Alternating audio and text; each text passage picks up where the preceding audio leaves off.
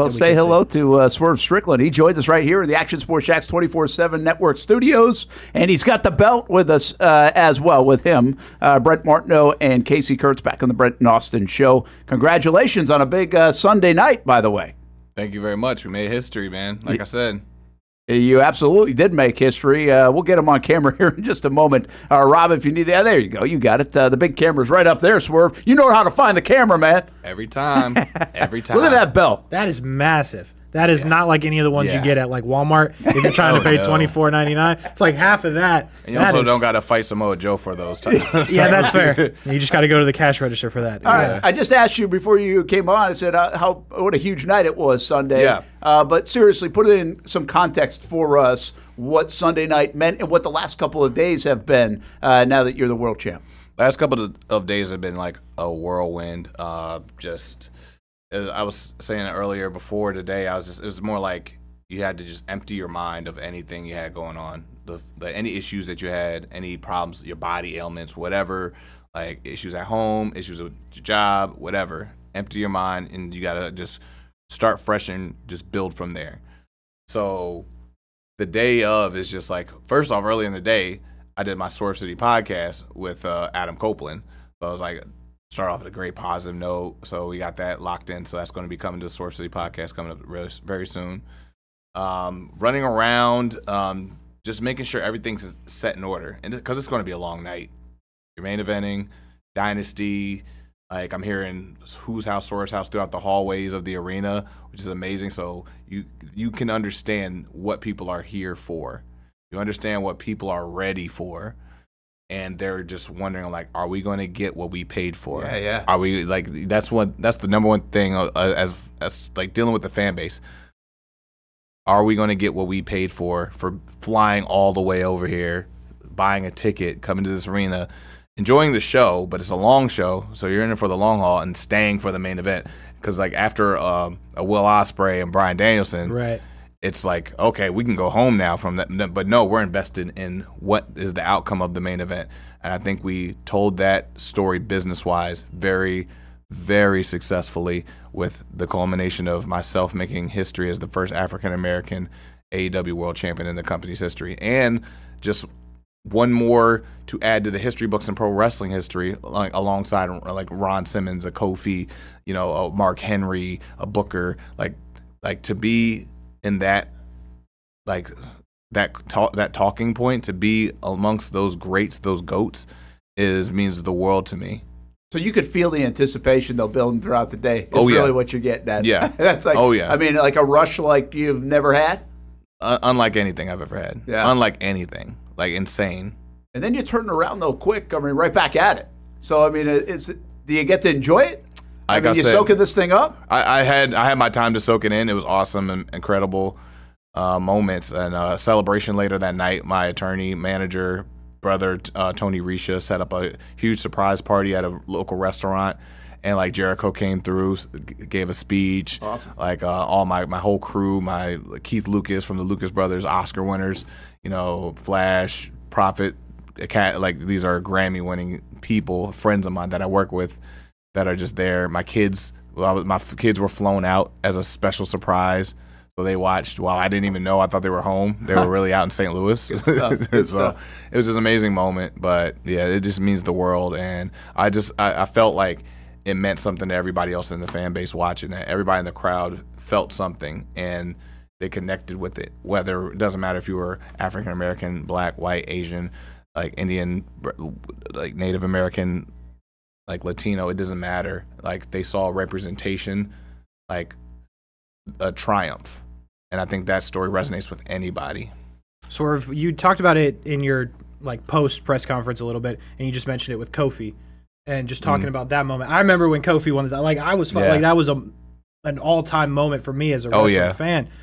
Now, like you're gonna have that with fans, and like young fans are gonna come up and remember this moment, this unbelievable match that you guys had, and now what you can be for kids. Like, has that sunk in yet? Like, what that's gonna mean just for the rest of your life? It's- like, you're gonna be a Yeah, it's icon. still it's still so fresh. yeah. It still feels very fresh to like it's too it's too new to feel the long lasting effects that it might Right. have like a Kofi or something like that. But I've I always shout him out because that's a big inspiration. It's like, man, I want to try to recreate that in my own way. How do I, how do I have that moment? You know, and I wanted to push as hard as I could to give the best story, give the best unique me, because Kofi was just a unique him. The new New Day and uh, was a very unique him, them, to make that story special. And everybody felt that, felt the pain, felt the history that he went through to climb to get there. It took him what, what was this, eleven years, Right, yeah. to get to that. So that was amazing. Like I'm, I'm like, okay, I don't have that 11 year story, but I have something that I can really pull into to pull people into ride with me from like a short period period of time getting to know me in my like only 2 years in all elite wrestling and and another thing was just like I had to like kind of like expect people not to know the 12 13 years it took me f- for me to get there. I got to start you off with this story. The genesis is right here right now You can't assume that everybody knew. it. at all. Some people know, but the majority, I still have to gain new fans and new following to understand this is the intro- introduction to Swerve Strickland. You know, um, start with this story now and ride it through like the mid card, the undercard, um, doing pre shows, and I still never done a main card of um, Forbidden Door. I've always only done the kickoff shows. You know, um, uh, last year's Revolution, I wasn't even on. You know, there's still a lot of like holes in that, and that was like, okay, I didn't make those. What if I made those like my motivation, my story for people to really understand and f- feel like this is why this character has to go to these lengths. I have to like come at uh, Hangman Page. I have to attack him in a different way. I challenged him to take his opportunity because he he was just too content. He took it for granted. I'm starving. I'm hungry. If I had that opportunity, you know, I'd be champion too. You know, maybe quicker. I don't know. You know, you ha- you got a lot of favors handed to you. Show me how good you really are, and I challenged him for that, and I did exactly what I said. So it was that whole story and pathway of just taking back what I felt like I was der- I deserve or was never given or opportunities. So that's why I kind of did the inspired Killmonger look. It was like I'm not like being just coronated and given the throne. No, Yeah. I have to go and take it myself. You know, so there was that mentality and story. You try to like let these subliminals play out and let the fans kind of feel that and understand and watch it and like really like feel a little bit more deeper than just a match for the championship. It's just like so much more story behind it. Swerve Strickland with us here on the Action Sports Jax 24 7 network. Uh, All Elite Wrestling, uh, world champion, and uh, All Elite Wrestling in town this week at Daly's Place uh, with AEW Dynamite coming up tomorrow and AEW Collision Rampage on Saturday. You mentioned your story from the military to get into wrestling, and, and that's part of it. There's Yeah. the music element of it. But I feel like when you just shared what you shared, the story and, and telling the story is important to you Yeah. as much as the entertainment, right? As much as the the victory, as much as the Yeah. athleticism, everything else that goes into uh, wrestling and what you do for a living. How important will the story be from here now to evolve as you're capturing more eyeballs' attention and and really put Yeah. on probably the biggest spotlight you've ever been under? that's the challenging part of this whole thing. It's like the story is like I always say it's like a Rubik's cube that's always moving. Like you're always you're gonna figure out one side, but then the other side starts moving, and you're like, okay, let me figure out then that side, and then the other one. You're never gonna complete the full thing. So for me, it's just like constantly trying to figure out this puzzle that's ever moving because the business is ever moving. It's not even just a wrestling business you're competing with anymore; it's the entertainment business Yeah. in general. Because all of it's just all like overlapping and everybody's colliding and like Trying to share the everyone. space. You got to share it now. You know. Um, so uh, now you're seeing content creators become like champions and compete. So it's just like you got to compete with other entertainments. Uh, content creators are getting in boxing. So now it's just like, okay, where does this fit in? Where does this flow? What what also is like what is like a Tony Khan? What how where does he want to take the direction of the company? Where now now obviously he's taking it in the direction of like Swerve and building that. Now it's like, okay, where do I play into that? How can I put my touch on it? Once again, create a unique me to the story and to the company. Um, doing interviews, coming out here to speak with you guys. That's one way. Okay, how do I build off of that? What do I take like an accomplishment? How do I? I don't. I don't want to sit on it, sit on it, and settle on it. I want to use that as a tool to power something else. And then when I create something with that, I got to use that as a tool to power something else. And now that's the story being told. And now you get to play with things. And when, especially when people start picking up on it and like oh he's uh, he has the new shoe. He has his own shoe now. Like that's what he was wearing. Oh the shoe coordinates with the the guy in the music video that's in his titantron. Yeah, that's yeah. cool. Yeah. oh wait but these guys have a documentary with the lucas brothers who are oscar winners that's coming out. Oh so that ties into that. So these are stories that i'm not necessarily telling. It's just what i'm doing but they're kind of telling itself. Yeah, that's and if people deep dive enough, they'll have they'll find, and then somehow, some way, it'll make its way to television. So that's how I work, you know. It did, but when you got into when you're thinking about wrestling when you were 18 years old and, Yeah. and teenager guy, that did that element. You had no clue about that part of it, Oh, right? I'm sure no. this part is developed. That that part is That's a- evolved. yeah. You thought you were just jumping off ropes and winning championships, and I thought it, like I used to think it was just that simple to do, Yeah, yeah. and I got a rude awakening on that early on. Yeah. and um, but it was just like um, some people take failures or um, they misjudge something and they take those things as like uh, just get they, they they take it as a way to be discouraged when you can find a way to actually turn it into building and that's a learning tool that's a learning craft. I'm like okay cool. Now i know what to build off of and what direction not to go. It's almost like taking the wrong direction in the city of jacksonville. You're Yeah, like yeah. oh that's cool found like, something new. yeah, but but you're never lost because you can you always know how to get your back get your way back home. So you're never lost. Some people say like, "Oh, I'm lost in the city." No, how do you get home? Oh, I gotta get back on the road to go back. Like, so you're not lost. If you can always find your way home, you're never lost. Yeah. That's like not just that's like a, a thing for life. You always if you can find your way back to the starting point, you're just never lost. It's just getting back on the road and doing it again, finding a different route. Maybe like you know what I mean.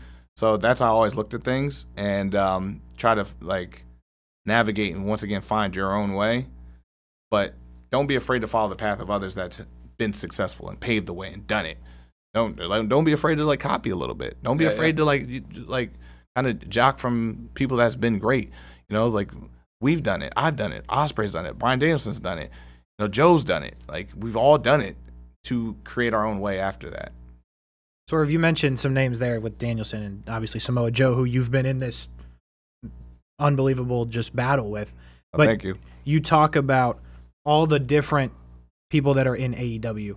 How would you kind of, I guess, assess the talent, just the pure wrestling ability? I mean, you saw it. Yeah. I mean, you were in it, but we saw it on the on, on Dynasty. Like, just everyone is so talented. Like, Yeah. how good are you guys right now? like I said, um, at the press scrum, I was like, five of these matches could have main evented at any point.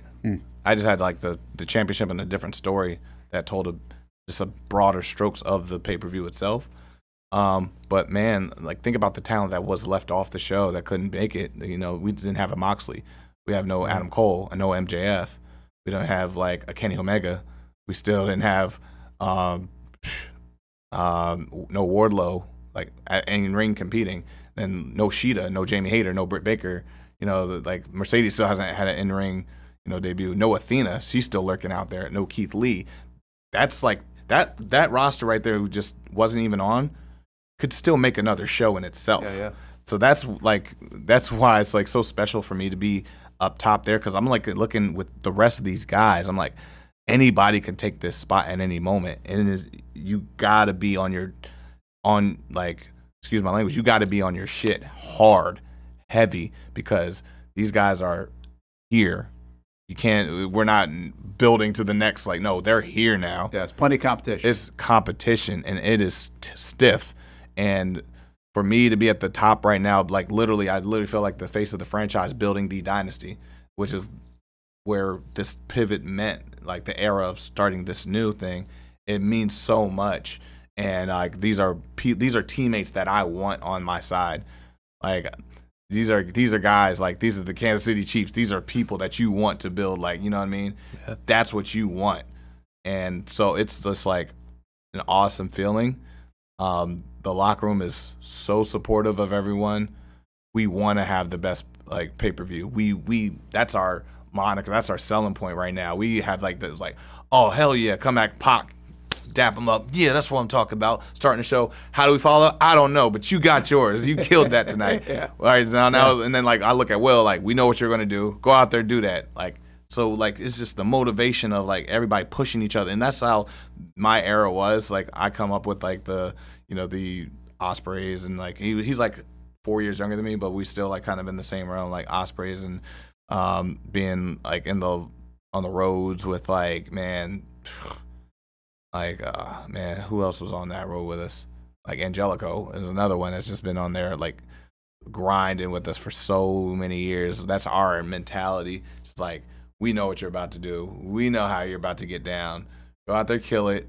We're gonna figure out a way to like try to Try to one up it. try to one up it or just match it or do whatever we can. But we know each other well enough to be like, yeah, this is and that's the that's the locker room. That's cool behind the scenes, uh, by the way. Uh, Yeah. Feel of, of what that is and what you guys are building and have Yeah. built, really. But, uh, you know, around here, we, Trevor Lawrence, we call him the face of the franchise. Absolutely. So we ask him 100%. questions all the time, like, hey, where are you, you know, what direction are you guys going in? Like, where is he Yeah. going? Like, what, how do you view the franchise right now? What else do you need? And, well, face of the franchise. Uh. AEW, like, where do you see it right now? Where do you see where you guys are at, where you're going? Uh, and where you can get to, and obviously, uh, you just on Sunday night became Yeah. a bigger part of that.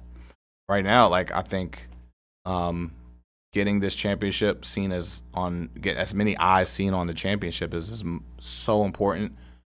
Um, and it's not just like staying local with things. That's a very very key point of things. Like Daly's Place right here, we're setting up, doing a lot of promotion to get Daly's Place, but we want the world, man.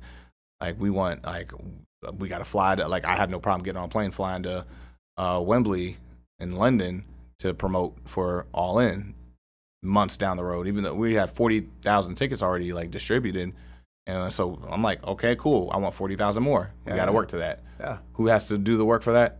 Well, Tony Khan, um, marketing team, you know, guys, all that. But I got to do the work. There's some that. ownership there. Yeah, I got to I got to do that too. I the face of the franchise has to be there for that.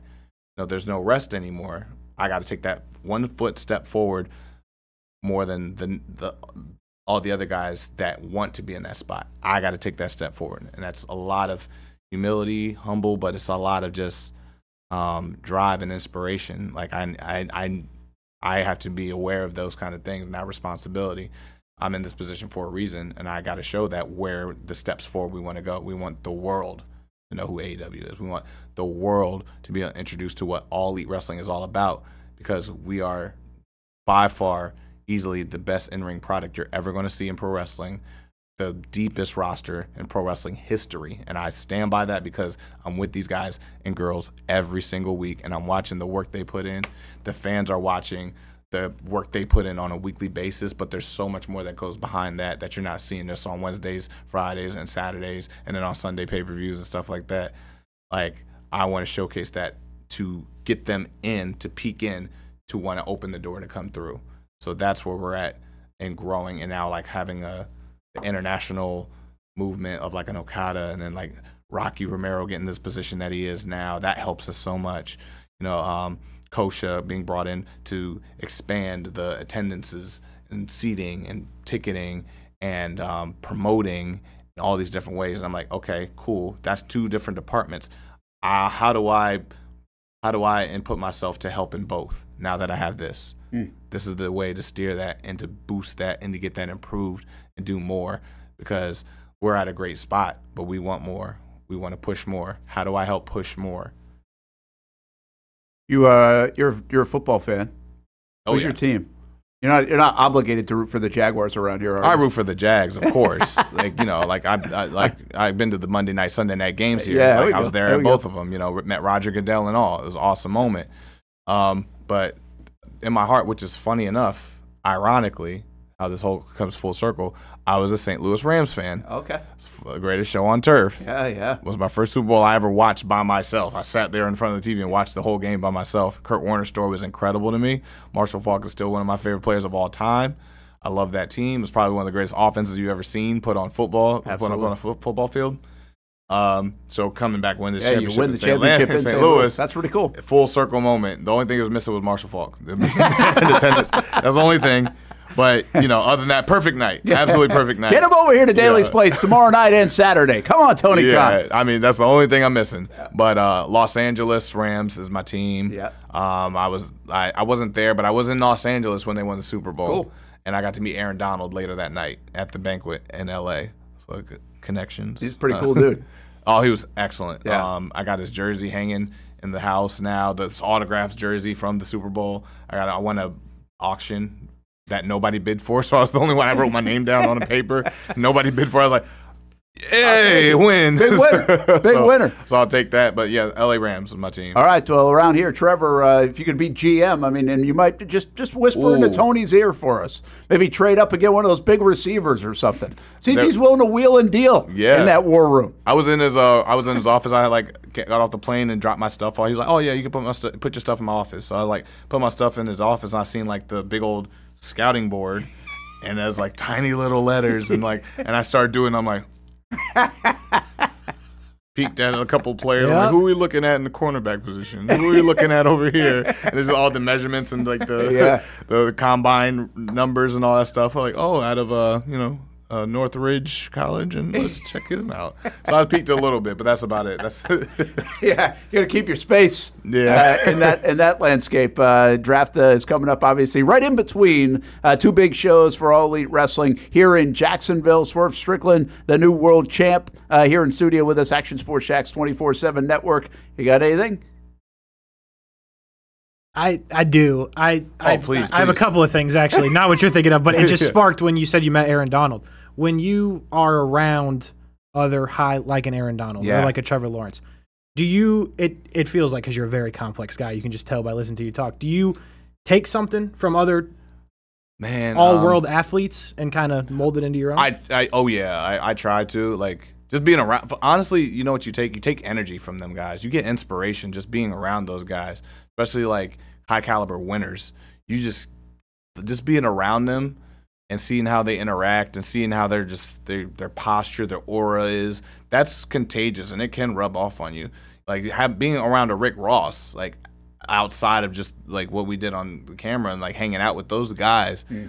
like those guys are just infectious. You get the feel of great people that are doing great things as history makers. Like Rick Ross is like on like the list of like 50 greatest rappers of all time. And this guy's like following me on social media. It's like, or like Bun B. I can just go to Bun B. I can text them at any point, call these guys. Like just having these wheelhouse, and they're just like they're so relatable. I get that from those guys. Um, there's a lot. I, like for me, when I really started like transitioning on television, it was like the Flatbush Zombies. Um, great rap group. Love Juice. He's been on a couple of my pro- uh, uh, my music projects now. Eric has got a solo project. Meech, incredible. All of these guys are great guys. Those guys inspire me. The look of like transition to the colorful dreads and twisting things up, getting a little more dark here and different ways, and just like hearing their voice on records. Like, man, I want promos to sound like that. I want the look to their music videos to kind of match this energy when I come out or when I'm like doing a backstage cut. Like, you know, I want that visual from their music video that they did here to kind of like match that aura. So that I get inspiration from those people and just like like an ASAP, a Travis Scott. Those guys inspire the hell out of me so much, and those are the guys I want. I like kind of like drive inspiration. And, and as, as an athlete's standpoint, like a meeting uh, Coach Prime at Colorado, like that's inspirational in itself. And he, hearing his mentality, because I used to watch his interviews back in the day, Coach Prime was like, man, he sounds like a pro wrestler cutting promos Yeah, yeah, on these like you know, he like he knows he knows he's dope. yeah. Like yeah. he knows he's dope. He knows he's good. It's like what like uh, how could you not watch him? How could you not invest in like whatever team he's going to? Whether it's Niners, Falcons, Cowboys, Ravens, like yeah, you're sucked in. you're sucked into that, you know? Like so th- that's another inspiration, guys. Like so to answer your question, yeah, like 100%. That makes like, a lot of sense, by the way, too. You got from humble beginnings. You're not. It, some of these guys are boom instant stars, Yeah, right? And yeah. so you learn to that life or that. But then you you grow into potentially now Right. star, world champ, all those things, and you almost got to turn that on. and Be like, hey, um, I'm kind of here. Like I've got to learn to be that guy, right? I mean, be the face of the franchise. Yeah. Like You- that's not how it started.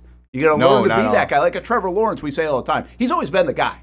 He's Yeah. comfortable being the guy. Yeah. Because in high school he was the guy, in college he was the guy. He was the face of college football. He was the face of the franchise here. He knew he was going to be the n- number one pick. But when you grow into that, there's got to be something sooner or later hanging around folks like that that clicks. Been oh, like, Oh, yeah. okay, this is how you carry yourself. Yeah, like if I'm going to be the face, right? Like I'm pretty sure in the offseason he was like he hangs around a Peyton. He I'm pretty sure he hands he hangs around a Eli. He hangs around you know a Kurt Warner. He hangs around those guys and people that have won at the biggest level Yeah, yeah. that there is. You know that inspires you. That gets in your that gets in your head and you doesn't leave. Especially like someone like as uh, motivated and like dedicated to this sport as uh, Trevor Lawrence is. Like is it, you're gonna you're gonna be getting those results that you want soon very very soon because it's just it's going to rub off on you I got to ask you because you're the face of the franchise, right? I, I wasn't sure if I was going to ask, but you're the face of the franchise. You guys on AEW made a decision a couple weeks ago. You put out a little backstage video that Yeah. kind of got the world talking, the wrestling world. And I, I think everybody feels a certain type of way about it, but you guys decided to put it out. What was your thoughts when like you you found out or were involved with knowing that that video was going to go out? You guys are going to play it on Yeah. TV and what that kind of was going to look like when everyone saw it and their response on social media. um i was actually sitting in uh, the seated position right next to tony khan when I was, we were about to play it because i was like intrigued i was like okay here we go because like and with decisions like that choices like that you have to trust in that tony is doing it for a reason this man is running a Right. franchise, an NFL franchise, you know, with like all the elements that goes into that. He's built this company on his like he did this. He chose to do this, make a all elite wrestling with like all these other uh, people that were involved in creating all elite wrestling. That was still ultimately Tony Khan's decision. And with that being said, like a lot of us have to trust in his vision and trust in his decision making. So it's like, all right, Captain, I'm riding with you on this. And so you, I sat right next to him and I watched it and I was like, "How are you feeling?" He was like, "Feeling good." I'm like, "If you're feeling good, I'm feeling good too." And you got to ride with it. And regardless if it was a positive, negative, people felt like it's no different than watching TMZ. like Yeah, in my yeah, opinion, yeah. I'm like, y'all want to talk about like these. uh You want to talk about like, oh, y'all want to watch good TV? Y'all watch reality TV all the time when you know people really, you know. That's so Absolutely. like I'm like, okay, I don't see no difference. Y'all gonna feel some type of way. And guess what? We're gonna keep going on Wednesdays and Thursdays, Fridays and Saturdays. Y'all are welcome to join us. But they felt like if you feel something, I'm for it. You know, negative, positive, whatever. But you all tuned in and watched the pay per view, and you all tuned in and watched a positive outcome to that pay per view and felt good uh, for the majority, I would like to say a high majority, people felt something good at the end of that pay per view, following something that just like mm, indifferent feeling. Yeah, didn't know how you felt. Yeah, you didn't know, and sometimes you're not even gonna really get to the understand like, okay, I finally have a decision on how I felt about that. You might get that three months from now, seeing how things play out, but you gotta play, you gotta watch things play out, and then you'll finally come to a decision and a conclusion on how you felt about something that felt indifferent. Yeah, it's a great, uh, great way to describe it. I think you're in the entertainment business, promotion business, a lot of different business, and you just said the word. If you can feel it, If you can mission feel it. accomplished. Yeah. in a lot of ways. it. Well, they can feel Swerve Strickland as AEW World Champ. We can too. We can see it. That belt's nice, man. Boom. You can go anywhere without it now. No. Oh, I need a backpack. that thing is not light. I work out, and I'm like, I don't think I want to work out today carrying this thing all day. but that's it's, awesome. it's, uh, it's I'm, I'm blessed to like carry the weight of that that championship physically, and the history behind it, and the responsibility behind it. I feel truly blessed. Uh, well, uh, good luck uh, this week in Jacksonville and uh, on the rest of the journey and the rest of the story, man. We appreciate you stopping by for a while, hanging out with us here on the Action Sports Jax 24 7 network.